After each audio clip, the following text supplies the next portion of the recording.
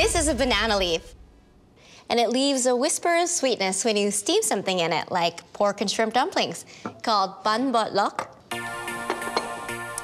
To caramelize the pork, oil and sugar. And you can use any neutral oil for this. I want that sugar to dissolve a little bit in the oil, almost make it like a syrup. Shallots and garlic.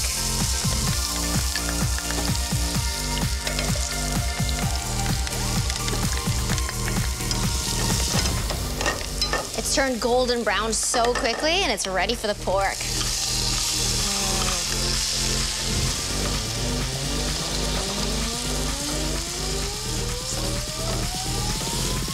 Fish sauce. And now that plump shrimp.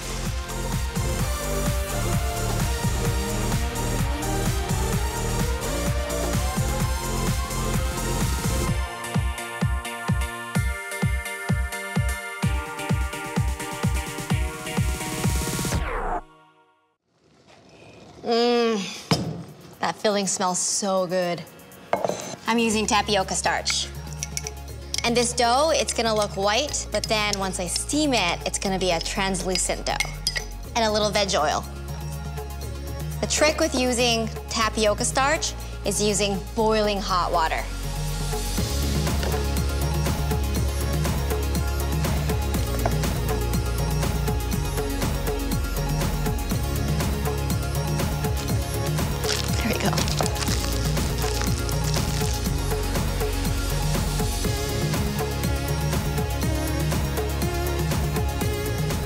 That's enough kneading. This is the texture that I'm looking for.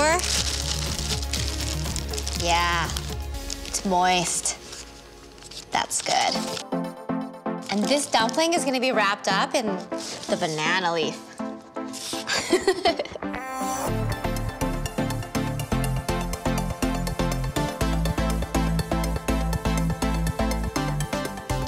So that dough, remember it's so sticky. Use a tablespoon, grease it up with some vegetable oil.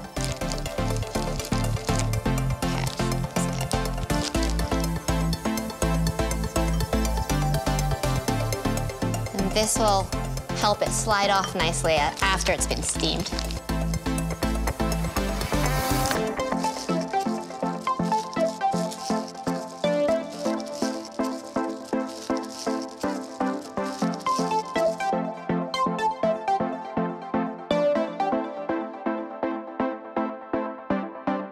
This is time consuming. Imagine making 60 of these, 100 of them. The emperor probably had like 100 cooks in the kitchen. And there are rumors that the emperors were really picky eaters, demanded something different every single day. So I'm guessing this is kind of one of those dishes where the cooks had to constantly be innovating.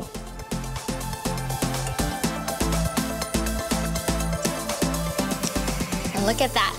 Isn't that cute? Just a few more to make.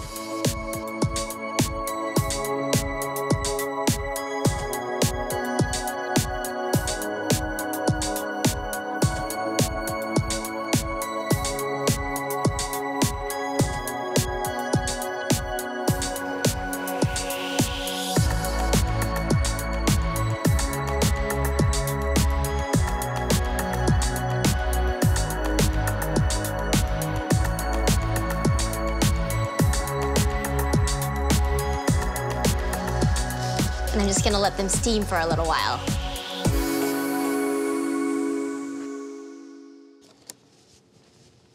And it smells like bamboo from the steamer.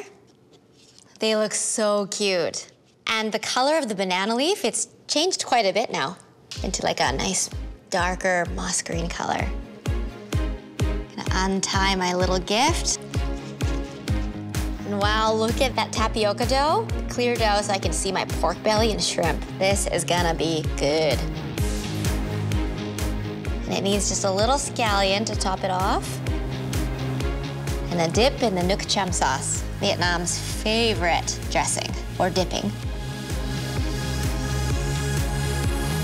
Mmm. That tapioca dough has like a hint of sweetness from the banana leaf, and then you chew into it, really nice chew, and then the sweet caramelized shrimp and pork just jumps out. Oh my goodness.